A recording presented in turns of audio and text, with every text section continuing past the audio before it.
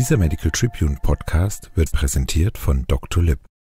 Praxis starten mit vollem Terminkalender. Jetzt über Dr. Lip 10 Millionen PatientInnen erreichen.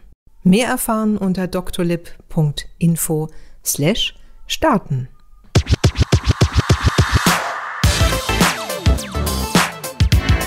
DocTales – Geschichten für die Praxis. In dem Podcast der Medical Tribune dreht sich alles um den Alltag niedergelassener Ärztinnen und Ärzte. Dr. Sascha Gerken, Arzt und Medizinjournalist, und der angehende Allgemeinmediziner Sebastian Alsleben reden mit Kolleginnen und Kollegen über Spaß, Frust und aktuelle Herausforderungen in der Praxis.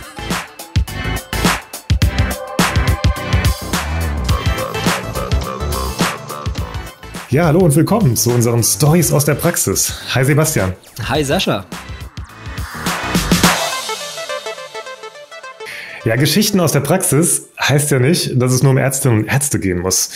Deshalb haben wir heute eine MFA eingeladen. Steffi Roth ist seit 2007 ausgebildete MFA und arbeitet in einer Allgemeinmedizinpraxis in Solingen. Willkommen, Stefanie. Ja, hi zusammen. Ich freue mich dabei zu sein. Ja, hi Steffi. Hi. Du hast heute die Ehre und Möglichkeit, das Leben aller MFAs sowas von zu verbessern. Ja, ich hoffe, ich krieg's hin. ja, aber erstmal zu dir. Äh, du warst ja sowohl selbstständig in der Gastronomie tätig, als auch als MFA. Tatsächlich. Warum hast ja. du dich denn für den weiteren Werdegang als MFA entschieden und nicht für die Gastro? Äh, ja, dazu muss ich nur ganz kurz sagen, also Gastro war halt immer schon so, ja, die Leidenschaft, ne?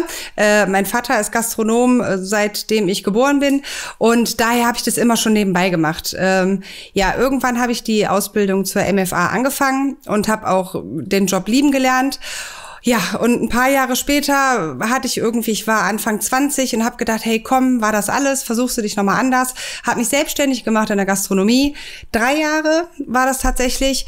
Ähm, wir sind auch nah bei Menschen, ja. Ähm, und aber dann habe ich nach drei Jahren doch gemerkt, dass so diese, das ist halt eine andere Verantwortung, die du da hast, ja, abends die Leute zu bedienen und die Verantwortung so mit dem Menschen zusammen und dann doch, das hat mir dann doch gefehlt und das war eigentlich auch einer der Hauptgründe, warum ich gesagt habe, hey, komm, mach die Gastro nebenbei noch als Hobby und dann gehst du aber lieber wieder zu dem zurück, was du gelernt hast. Und ähm, ja, dann konnte ich auch nahtlos wieder übergehen in meine alte Praxis, wo ich vorher gearbeitet habe. Also es hat alles super gepasst.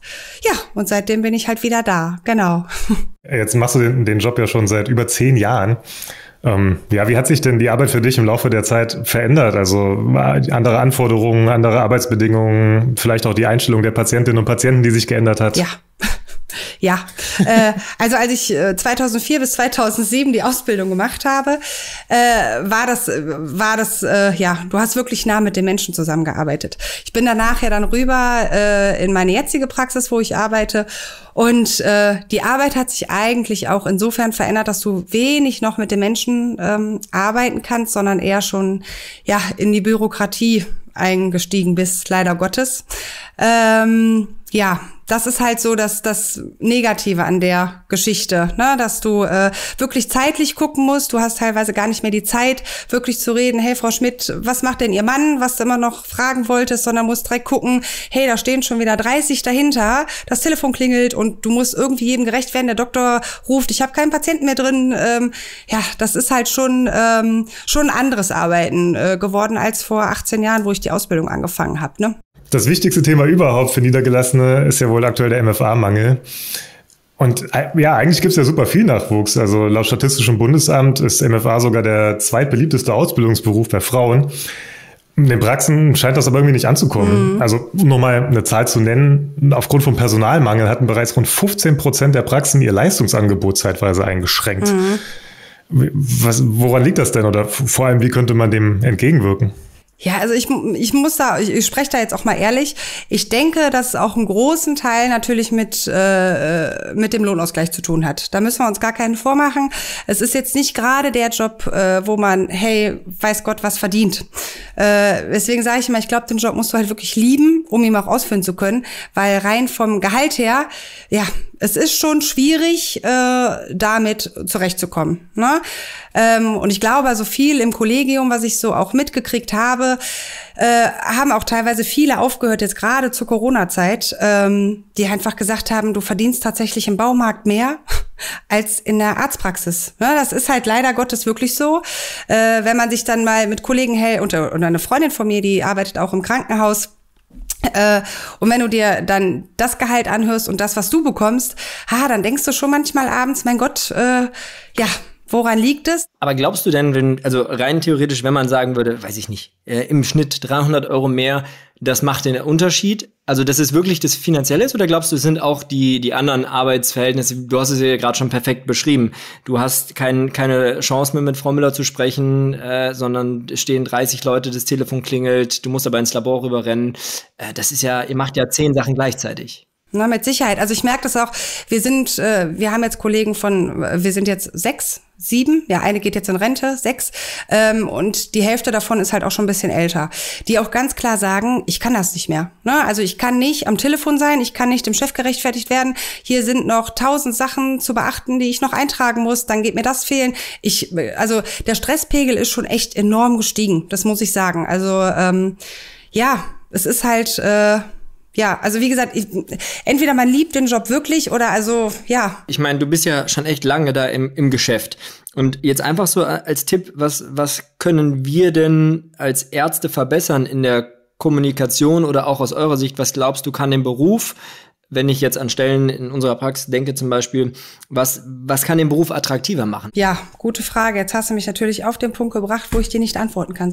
Nein, nein, aber also oder einfach nur so vom Gefühl her. Sagst du, also beispielsweise mh, hm, hast du in der Erfahrung, du sagst, es ist ja irgendwie alles mehr geworden von von irgendwie, dass man mit Frau Schmidt sprechen kann. Jetzt ist es so, dass da 30 Patienten warten. Hm. Muss man einfach mehr Personal haben oder muss man beispielsweise die Sprechstunden mehr auseinanderziehen und dann also Weißt du, ist es, liegt es an der hm. Komprimierung oder also gibt es da also irgendwas? Tatsächlich, mehr Personal ist immer, also äh, früher sind wir mit vier oder mit drei Helferinnen ausgekommen, jetzt sind wir sechs äh, und es fehlt tatsächlich hin und wieder immer noch mal einer, ne, wo man sagt, dann kann man es halt auch einfach besser aufteilen. Der eine ist mehr für die Technik, der andere ist mehr im Labor, der andere macht halt gerne, äh, schreibt halt gerne Versorgungsämter und und und. Wenn man das also alles natürlich ein bisschen splittet und so den Stresspegel jeder einzelnen MFA ein bisschen senken würde, glaube ich, würde das schon äh, viel dazu beisteuern, dass das, der Job äh, auf jeden Fall lukrativer wird. Und natürlich halt eben auch wirklich Bezahlung. Ne? Also sei es. Ist der Corona-Bonus eigentlich bei dir angekommen? Ja, ich muss fairerweise sagen, äh, ich war jetzt anderthalb Jahre raus. Ich war ja in Elternzeit aktuell. Bin jetzt wieder stundenweise dabei seit einem halben Jahr hatte den Corona-Bonus noch bekommen, tatsächlich, ja. Den etwas kleineren, ganz am Anfang. Das war es dann aber auch. Ne? Also ich habe ja mit den Kollegen immer guten Kontakt gehabt, auch wo ich jetzt äh, nicht in der Praxis selber war. Ja, da ist schon einiger Unmut zugekommen. Ne? Ich meine, ähm, gerade auch mit dem Impfen. Ähm, ja, es wird halt, äh, ja, wenn ich das so sagen darf, alles äh, extra bezahlt. Die, meine Kollegen hatten viel mehr Arbeit gehabt, gerade mit den Impfungen, ne, was das für ein bürokratischer Aufwand war. Äh, die Kollegen saßen teilweise eine Stunde vor Arbeitsbeginn in der Praxis, haben alles vorbereitet.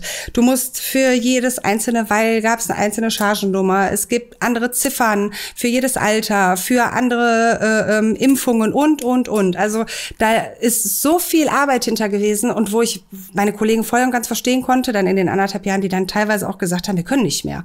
Also es geht nicht mehr, wir können nicht mehr. Und äh, da vielleicht auch einfach mal als Chef herzugehen und sagen, hey, hier habt ihr noch mal pst, Cash irgendwie. Und wenn es nur eine Kleinigkeit ist, ne? Oder einfach mal dieses abends danke, ne, das habt ihr super gemacht. Also sowas hält auch viel, viel zusammen, wenn du weißt, du wirst noch geschätzt, deine Arbeit wird Thema geschätzt. Ne? Ja, ähm, wenn man so auf Augenhöhe mit einem ist. Ne, das ist, ähm, ja, ich glaube, das ist ganz wichtig, dass äh, die Kollegen oder ich oder wir MFAs ähm, wissen, hey, wir werden gebraucht, unser Chef ist dankbar und ähm, ja, sowas halt, ne? Was macht für dich denn wertschätzende Atmosphäre und gute Praxisatmosphäre aus? Also, also das A und O ist das Team. Äh, wenn das Team nicht stimmt, kannst du schon alles vergessen. Also äh, wir haben zum Glück ein super, super Team. Bei uns gibt's hier wenige, also ich kenne es aus vielen anderen Praxen, die wirklich, das ist leider Gottes, ne, steckst ein paar Mädels auf einen Haufen, gibt's immer irgendwie Theater. Äh, es ist, äh, ja, ja, es ist ja so. Ja, ähm, aber ich muss ganz ehrlich sagen, wir haben ein super tolles Team, ähm, was sich echt ausgleicht äh, in verschiedenen Altersgruppen. Natürlich, wenn der eine mal schlechte Laune hat, dann sagen wir, hey, es war es heute total scheiße gelaufen, aber wir sprechen drüber und quatschen abends und lachen wieder und äh, gehen morgens wieder mit einem Grinsen zur Arbeit. Also ich glaube, wenn das nicht stimmt, ja, und dann auch mit den Ärzten, die wir bei uns haben, äh, da herrscht insgesamt ein super tolles Klima. Also äh, ja, ich denke mal noch, wenn der Respekt immer noch voneinander, also zueinander da ist, aber man sich trotzdem super versteht. Ich glaube, das ist so das A und O, was eine Praxis ausmacht, ne? Wenn man zusammen halt noch viel lachen kann und, ne? Und ich kenne andere Praxen, wo es leider nicht so ist. Da ist der Chef wirklich Chef, kommt rein, schmeißt die Jacke hin, beschwert sich, warum ist mein Kaffee noch nicht hier und äh, ja, sowas halt eben, ne? Und ich sage mal auf gut Deutsch, die gehen genauso auf Toilette wie wir oder aufs Klo. Ja, äh, er hat studiert, wir nicht, aber trotzdem ergänzen wir uns halt super. Ich versuche ja immer so rauszuhören aus allen Podcast-Gästen, die wir haben, irgendwie was, was ich daraus ziehen kann. Und ich habe mir vorher ja auch Gedanken dazu gemacht, so Thema MFA-Mangel, was stelle ich mir vor und einfach mal so, so Fragen an dich. Also ich habe mir das so vorgestellt, wenn ich mich so in die Situation hineinversetze, dass, glaube ich, Selbstverwirklichungsmöglichkeiten, so ihr Pavlosche Bedürfnispyramide, irgendwie ist ja doch ein Grundbedürfnis des Menschen, also monetär natürlich auch, aber so dieses ey, ich habe eine Kernkompetenz, wie du schon gesagt hast, und darin werde ich halt richtig gut. Ich kann zwar alles, aber daran darf ich mich auch verwirklichen in der Praxis. Und es ist nicht nur irgendwie Angestellte, Dienst nach Vorschrift, sondern sowas wie eine Vera. Ich mache die, ich mach die Hausbesuche oder ich äh, mache das ganze IT-mäßige. Ich bin Chefin vom Labor, dass man so eigene Kernkompetenzen ähm, gewinnt. Das habe ich, das denke ich, also würde ich gut finden, wenn ich in der Position der MFA wäre. Ähm, genauso wie das, was du gesagt hast, monetäre Anreize ist natürlich die Frage, inwieweit das umsetzbar ist, aber sowas wie zum Beispiel Beteiligung an IG-Leistungsvolumen, wir sind halt trotzdem ein Wirtschaftsunternehmen und das Ganze als Firma zu sehen und nicht jeder so sein, sein Ding hat. Also ich weiß nicht, würdest du das unterschreiben? Ja, so wie du sagst, ne? Also ähm, ja, es ist ja auch die Sache mit der, es sind ja wenige Sachen, die wir als Praxis oder dann vielmehr der Chef noch bezahlt bekommen, ne, anhand der Ziffern, die wir abrechnen dürfen. Es wird ja halt wirklich immer weniger. Es sind natürlich dennoch Sachen, wo wir halt wirklich noch, äh, ja, noch ein bisschen was mit reinholen können, wo wir als MFAs natürlich auch interessiert sind, äh, davon was reinzuholen, weil im Endeffekt hängt davon ja auch unser Job ab. Ähm, natürlich wäre es so ein Anreiz zu sagen, hey, komm, als Check-up zum Beispiel, komm, wenn wir so und so viele Check-ups machen, gibt's vielleicht eine kleine Prämie für jeden. Ja? Genau, das ist das Limit. Als Beispiel. Das, das ne? Oder IG-Leistung. Ja, genau, ne? Labor, ne? Äh, Krankenkasse zahlt nur noch äh, äh, zwei Werte bei einem Check-up, ja. Überhaupt nicht verständlich. Äh, aber wir bieten halt eben die IG-Leistung an fürs Labor. Ich glaube, knapp 60 Euro. Empfindest du so diese Weiterbildung, so wie Vera oder andere Weiterbildungsformen, die es gibt, eher als Zusatzbelastung dann in der Praxis oder ist das eine spannende Ergänzung und eine Kompetenzsteigerung für dich? Also ich kann mir jetzt so für mich sprechen. Äh, überhaupt nicht als Belastung. Also als mein Chef mich vor vier Jahren gefragt hat, hey, hast du nicht Lust, die Vera zu machen, habe ich erstmal gesagt, okay, was ist das? Ähm, ja, und dann haben wir uns darüber unterhalten. Für mich war sofort klar, hey, das willst du machen. Ähm, für mich war das eine super, super, super Erfahrung. Ich kann es auch echt nur jedem ans Herz legen. Äh, es wird halt wirklich nochmal so detailliert alles aufgefrischt und die Ausbildung ist ja nochmal ein bisschen her äh, dass man wirklich noch mal richtig, richtig gut reinkommt. Ne? Ob es äh, äh, Technikmanagement ist, Wundmanagement oder Notfallmanagement. Äh, man wird in allem noch mal wirklich äh, von Grund auf so geschult und mir hat es so unfassbar Spaß gemacht, äh, dass du danach halt wirklich wieder so dein Grundwissen so aufgefrischt hast, dass du wieder, ähm, ja, also wie gesagt, mir hat's super viel Spaß gemacht und ich profitiere halt heute noch davon. Ne? Bringt dir das in der Praxis dann mehr Entlastung, Sebastian? Ja, also ich glaube schon. Also die, die Ausbildung, ich meine, klar, die muss auch erstmal finanziert werden, das ist die eine Sache, aber das ist, äh, ich glaube, definitiv. Also ich glaube, du profitierst ähm, so oder so davon. Also wenn du die, die Vera, oder es gibt ja verschiedene, also ob das jetzt äh, die, die Weiterbildung, dann Vera, Eva und so weiter und so fort, da, ich glaube, die müssen wir jetzt hier nicht weiter erklären, ähm, aber du profitierst so oder so davon, weil einfach wenn die Mitarbeitende da mehr drauf achten, auf den Patienten, dann fällt häufig schon was auf. Ne? Wenn einfach mehr Wissen dahinter steckt und das auch nochmal aufgefrischt ist. Also ich glaube, für die MFA ist es spannend, weil du darfst, du machst mehr. Und also ich glaube, wenn du die Kompetenzbereiche erweiterst, hast du auch gleichzeitig mehr als Mitarbeiter davon. Ich weiß nicht, wie siehst du das, Steffi? Ja, Sorry. total. Also ich ähm, es ist halt schön, vorne zu sitzen, ein Patient bestellt wieder ein Rezept und du weißt auf einmal, hey, der Blutdrucksenker ist genau dafür und dafür. Äh, das Asthma-Spray macht das und das. Also es, also es das war passt ist für zum Beispiel auch mal nicht, ne? Genau, Das- ne, oder dir fallen Sachen auf und du denkst, hey, da musst du der Doktor vielleicht einmal Rücksprache halten und der sagt, hey, super, habe ich vielleicht im Alltagsstress jetzt übersehen. Äh, also ich fand es äh, wirklich eine super Erfahrung, habe daraus profitiert, fahre halt regelmäßig jetzt auch Hausbesuche, äh, was ich total liebe. Ähm, ja, und du hast halt, du wirst halt auch delegiert. Ich kann zum Beispiel auch Impfungen machen durch die Vera, ne, in Altenheim, was du so als MFA nicht darfst, ist schon eine schöne Sache. Also äh, jeder, der darauf Lust hat und echt, äh, kann ich nur empfehlen. Doch. Und wird die Zusatzqualifikation dann auch äh, monetär gewertschätzt, womit wir wieder beim ersten Thema wären? Äh, ja, doch, ist es. Du hast ja eben, du hast ja eben gesagt, ähm, dass im Team auf Augenhöhe agieren wichtig ist. Wenn jetzt eine im Kollegium die Zusatzqualifikation hat, die andere die, ist man dann noch auf Augenhöhe oder gibt's da dann verdeckte Hierarchien? nee. Also ich habe auch erst am Anfang gedacht, okay, wo mein Chef mich äh, gefragt hat, magst du es machen, war natürlich der Gedanke, okay, nicht, dass dann die andere Kollegin sagt, hey, warum wurde ich nicht gefragt? Ja, hatte ich gedacht. Es war aber tatsächlich überhaupt nicht der Fall. Ähm, der, bei uns ist, wie gesagt, auch alles super aufgeteilt. Die eine liebt ihr Labor, die andere liebt die Technik, die andere liebt die Anmeldung. Äh, so, und da haben wir, also es war tatsächlich, äh, nee, das Einzige, wo ich natürlich gefehlt habe in, den, in der Ausbildung selber, ich hatte halt drei Wochen Schule, äh, da wo ich nicht in der Praxis arbeiten konnte und halt 20-stündiges Praktikum woanders. Das war natürlich so in der Winterzeit gerade ein bisschen schwierig, ne? aber ähm, es gab da nie irgendwie, du hast jetzt das oder ich konnte natürlich auch dazu beitragen, wenn wir dann die Teamsitzung gehabt haben, hey, das hat sich wieder erneuert bei den Impfungen. Äh, Oder die Ziffer können wir noch zusätzlich abrechnen. Ne? Also das war jetzt auch nicht äh, dieses, ich weiß jetzt mehr wie du und äh, jetzt müsst ihr das aber so machen. Also wir haben uns da immer alles super, super ergänzt. Ne? Also das war, nee, das hat immer alles gepasst. Und es bringt ja auch äh, gerade Stichwort HZV ähm, Verträge, ne, das, ähm, die, die, das ist ja, du kriegst ja für jeden Patienten, der als Chroniker, also es führt jetzt zu weit, aber grundsätzlich kriegst du Fallpauschalen ja auch dann nochmal, wenn du eine Vera hast. Genau. Ähm, oder MFAs mit Zusatzqualifikationen. Das ist, ich meine, wir machen Genau. jetzt kein, kein EBM oder HZV-Beratung hier, aber einfach das nur mal so als Idee. Da steckt ja auch noch mehr dahinter. Es gibt ja, wie gesagt, äh, die Vera, die läuft übers HZV. Ich habe da noch die NEPA drangehangen, weil die halt über die KV abgerechnet wird, sodass wir halt beides haben. Ne? Und äh, ja, also unterm Strich, wenn du beides hast, äh, finanzierst du dich praktisch fast von alleine. Ha? So. Äh, das nur nebenbei. Also das ist, äh, ja. Und es macht halt noch Spaß, ne? Weißt du, was auch Spaß macht? Unsere Rubrik Quick and Nerdy.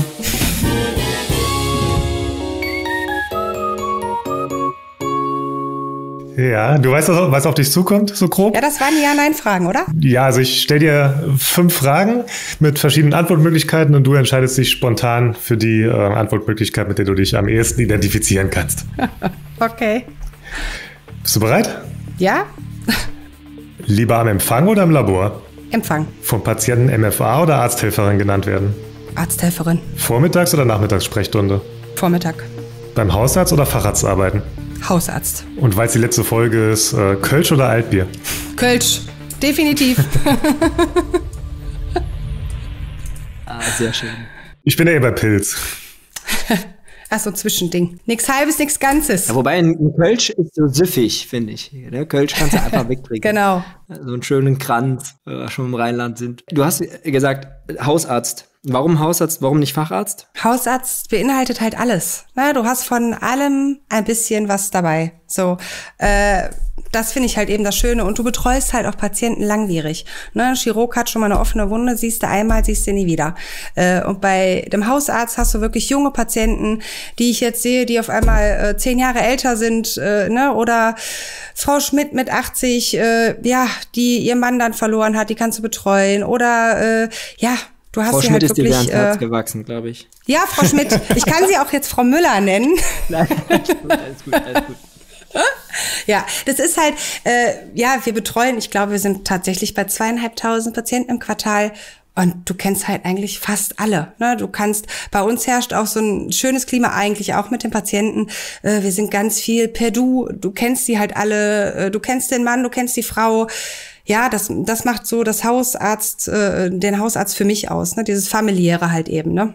Ist das auch das, was du sagst, ähm, was das Tolle an dem Beruf ist oder warum? Du hast ja eben gesagt, man muss den Beruf lieben und da hast ja auch viele negative Entwicklungen der letzten Jahre irgendwie aufgezeigt. Aber ja, ja ist, ist es genau das, was dir Spaß macht, warum du es machst? Ja, definitiv.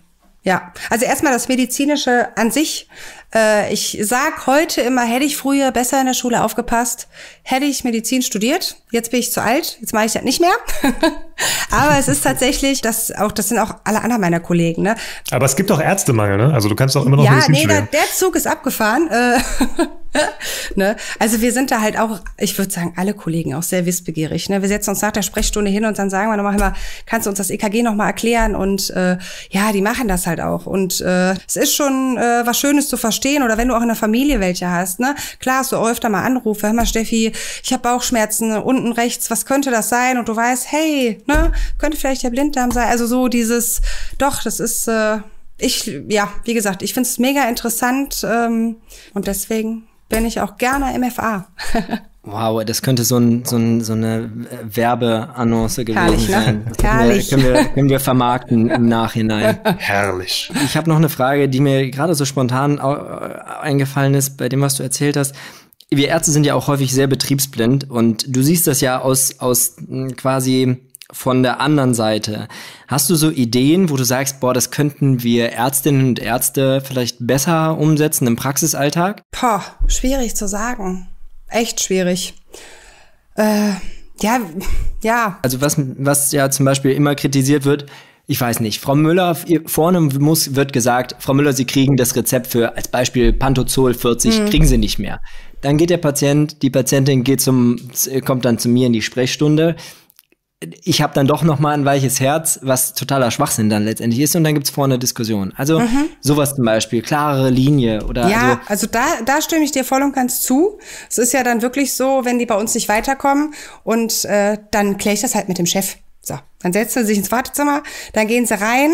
Natürlich, in den meisten Fällen sagen dann auch die Ärzte, ja, wir machen es. Kommen dann nach vorne und sagen, sehen Sie, habe ich Ihnen doch gesagt. Und du weißt ganz genau, hey, das geht nicht. Äh, es sind die Leitlinien jetzt, ne, so gut wie der Arzt jetzt auch sein will zu Ihnen. Wir können es nicht machen. Wir haben dann natürlich vorne riesige Diskussionen, ne? Auch mit Patienten gerne, die äh, Medikamente einfach nach zwei Wochen nochmal bestellen, weil sie in Urlaub fahren. Ne, das ist nett gemeint, äh, die anderen Familienmitglieder noch zu versorgen und alles hat auch immer geklappt, aber wir dürfen es halt einfach nicht mehr.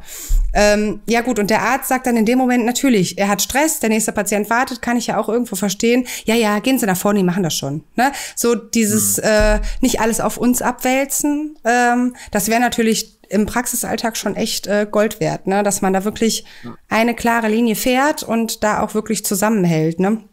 Und nicht vorne sitzt und äh, sagt, okay, ja, dann, äh, wenn der Chef das gesagt hat, müssen wir es dann wohl machen. Ja. Hast du eigentlich mal so eine Patientenstory, die du so erlebst, was die Ärztinnen und Ärzte nicht mitbekommen, weil die gerade in ihrem Sprechzimmer sind? Ähm oh, da gibt's so was Verrücktes, was dir mal passiert ist. Ich weiß es gar nicht. Es gibt so viele, so viele Sachen, äh, lustige Sachen auch. Äh, ja, wir hatten, äh, eine fällt mir jetzt nur spontan ein. Ich glaube, der Herr war 86, sollte ein EKG bekommen und ich habe gesagt, gehen Sie schon mal in die EKG-Kabine, ziehen Sie sich schon mal aus, er kennt das immer eigentlich, wo man sich auszieht. Und du kommst rein und er liegt mit seinen 86 Jahren splitterfasernackt auf dieser Liege und sagt Hallo. Und er hat's und ich stehe und denk, ach du Gott. Sag, Aber du hast gesagt, ziehen Sie sich aus. Hast du gesagt, du stehst oder er steht? Wer, wer steht nee, da jetzt? konnte nichts mehr stehen. Nein, er war 86. Also. Er hat nur deine Anweisung befolgt. Ja, genau. Er hatte sich halt nackig gemacht. So, ja, das sind so so oft so Kleinigkeiten, ne, die einen echt zum Lachen bringen. Ne? Es ist äh, ja, Schön. also wie gesagt, da gibt's echt viele Atem oder hier Atemschutzmaske, sage ich jetzt schon. Am Anfang, wo es anfing mit den äh, Masken tragen, er hat natürlich ein paar dabei, die sich da strikt gegen gewehrt haben. Ja, dann haben wir gesagt, ohne Maske dürfen Sie hier nicht rein. Ja, dann sagt er, wenn Sie wollen und ist dann rausgegangen und kam durch diesen Flur wie Darth Raiders und wir haben gedacht, was ist das? Der hatte wirklich eine Atemschutzmaske von der Feuerwehr an, so ein Teil und stellte sich an die Anmeldung Und ich sagte, soll ich Ihnen eine Maske von uns geben? Ich konnte überhaupt nicht sprechen. Ich habe gedacht, okay, nein, wenn wir es so wollen, dann setzt er sich so und so ist er auch ins Wartezimmer gegangen und zum Chef rein oder zu dem Arzt. Also es sind so manche Sachen, äh, ja, doch, die halten uns schon bei Laune. Der Patient hat sicherlich sich kein Corona in der Praxis geholt, oder? Nein, also, ich denke auch nicht. Der war safe. Nee, der war safe. Wie siehst du das eigentlich mit ähm, Homeoffice? Also wäre das für MFA auch möglich? Äh, es gibt ja durchaus Ärztinnen und Ärzte, die sagen, ja, kann man machen und auch MFAs, die es machen. Ähm, aber ich glaube, da gehen die Meinungen weit auseinander. Tatsächlich äh, lässt sich das auf jeden Fall vereinbaren. Ich persönlich bin jetzt wahrscheinlich auch eine von denen, die äh, bald Homeoffice machen wird, damit ich das äh, mit der Familie so ein bisschen äh, besser planen kann, weil man halt Schichtarbeiter ist äh, damit ich es wirklich dann, äh, ja, es geht ganz eins und nicht allein um die Abrechnung. Ne? Ähm, Ziffern, wenn ich die Hausbesuche fahre, äh, bin ich danach locker eine Stunde in der Praxis, um alles einzugeben, die Ziffern einzugeben, die Dokumentation einzugeben. Äh, und jetzt habe ich äh, mit unserer Ärztin gesprochen und sie hat gesagt, hey, das ist eine gute Idee. Dann fahre ich nach den Hausbesuchen nach Hause, wenn die Kinder abends ins Bett gehen, kann ich mich in Ruhe hinsetzen und die ganze Dokumentation pflegen. Und halt eben auch die Statistiken. Wir haben jetzt Abrechnungen und äh, ja, es ist wieder wie alle drei Monate eine echte Herausforderung, ne? Weil man es im normalen ein hart langer Tag, ne? Ja, weil man es im normalen Praxisalltag tatsächlich gar nicht hinbekommt, ne, alles zu prüfen. Und da wir eine so große Praxis sind, haben wir auch halt echt viel zu kontrollieren. Ähm, und sowas kannst du halt auch echt super im Homeoffice machen, ne? Die ganze Statistik pflegen und und und, äh, weil das sonst echt äh, gar nicht machbar ist, ne? Also das geht, Homeoffice. Alles andere macht für mich wenig Sinn. Ähm, genau, geht halt nur um die Bürokratie, die man dann zu Hause machen kann. Die abrechnungstechnischen Sachen, das finde ich ist auch nochmal ein, ein spannendes Thema. Ähm, würdest du sagen, auf jeden Fall MFA, also ich meine, in eurer Praxis hast du ja gesagt, wird das so gemacht, ähm, Abrechnung, Statistik oder sollte der zumindest der Praxisinhaber, aber auch vielleicht alle anderen Ärztinnen und Ärzte direkt mitmachen. Also ich, ich wenn ich das richtig verstanden habe, in eurer ähm, Praxis ist es ja so, dass die Ärztinnen und Ärzte die Ziffern nicht selber eingeben. Mhm. Gibt ganz genau. viele andere Praxen, die das nicht so handhaben. Also genau. Äh, ne, wie, wie siehst du das? Also ich finde da tatsächlich eine Mischung aus beidem ganz cool. Ähm, es gibt halt gewisse Ziffern, die können wir vorne als MFA nicht nachvollziehen. Wenn der Patient lange drin war und wir können langes Gespräch abrechnen, der ist aber nach dem Gespräch weg, dann steht der nächste schon wieder da. Wir können das gar nicht mehr nachvollziehen. Das wäre natürlich cool, wenn es so eine Mischung, wir kontrollieren ja eh nochmal alles, aber wenn der behandelnde Arzt halt eben wirklich diese Hauptziffern eingibt, erspart er uns jede Menge Arbeit. Ähm, und die Ziffern gehen halt auch nicht flöten. Ne? Das muss man halt auch einfach mal wirklich äh, so sagen. Ne? Das äh, wäre schon cool, wenn die Ärzte da tatsächlich äh, ein bisschen mitwirken würden. Wir sorgen dafür, dass das äh, keiner, keiner der Kolleginnen und Kollegen aus der Praxis hört, diesen Podcast. Du kannst hier ganz frei sprechen. Ast rein. Oder wir sorgen dafür, dass sie es umsetzen. Oder so. Oder so, genau, genau, ja. Eigentlich dachten wir so als letzte Frage ähm, nochmal so eine Message an alle zuhörenden Ärztinnen und Ärzte, aber das hast du ja währenddessen schon sehr detailliert beschrieben, was du dir wünschst und wie es es laufen sollte. Von daher, ja, herzlichen Dank, dass du da warst. Hat sehr viel Spaß gemacht mit dir. Ja, vielen Dank euch. Es hat ja, auf jeden Fall sehr also viel Spaß gemacht. Ich habe auch wieder sehr viel mitgenommen. Danke, danke. Ja, cool. Sehr schön.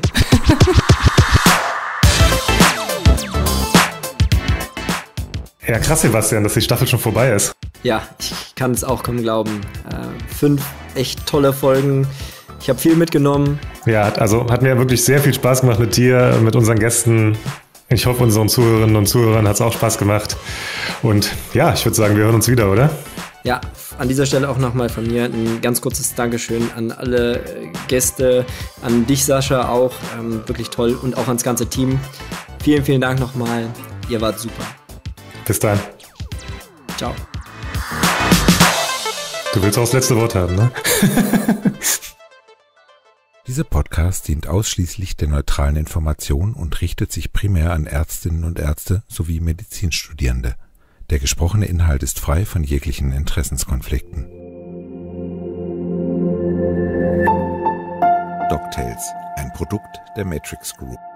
We care for Media Solutions.